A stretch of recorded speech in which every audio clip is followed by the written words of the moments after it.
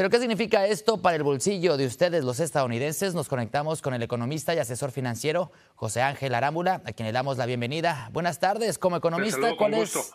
Igualmente, cuéntanos, ¿cuál es tu primera reacción ante estas bajas en las tasas de interés?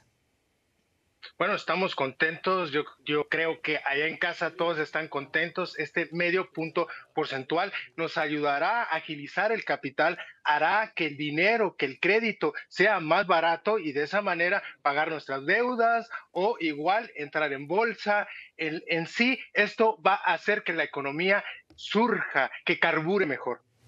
¿Y en qué lo vamos a ver más descifrado o en dónde lo vamos a ver en ese más impacto para la gente que está en casa en su día a día? ¿Cómo le beneficia esto?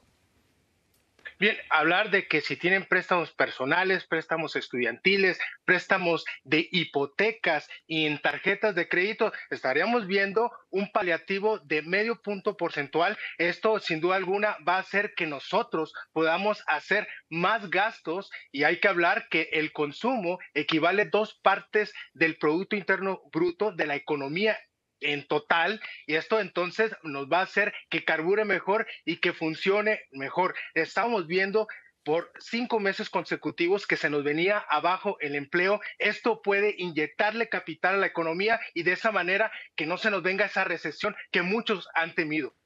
José Ángel, si tenemos algún tipo de deuda, ¿en cuáles nos enfocamos primero en saldar? Con esta baja de interés, ¿son tarjetas de crédito, una hipoteca, un préstamo? ¿Cómo nos organizamos en el hogar? Bueno, hay que, sin duda alguna, hacer una lista de todas esas deudas y bien, hay que pagar la que tenga un saldo menor.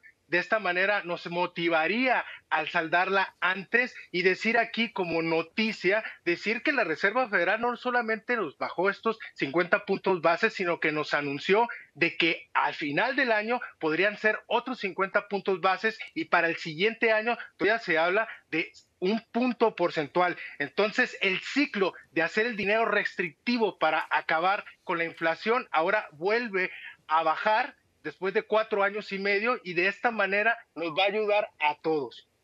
Se hace el anuncio el día de hoy. ¿Qué tan pronto las personas pueden empezar a ver estos impactos en su bolsillo o en sus préstamos? Bien, la expectativa de reducción ya se había visto, por ejemplo, en las hipotecas que habían bajado de un punto de su nivel más alto en 11 meses a, de 8% hasta el 6.15%. Esto indica que ahora ya nos bajó el 5.65%. Y bien, decir de que ahora ya lo tenemos, que todas esas tarjetas de crédito hay que pagarlas lo más rápido posible.